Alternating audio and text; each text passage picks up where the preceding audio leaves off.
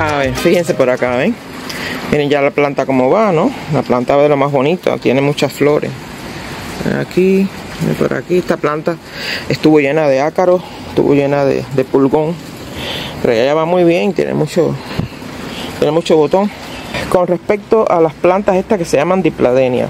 Sí, es verdad, cuando yo la salvé, a ver, la persona que me preguntó, cuando yo la salvé, yo no solamente salvé la roja, esta fue la primera que salvé, pero yo también salvé la blanca. ¿Ven? Y estaba en el supermercado.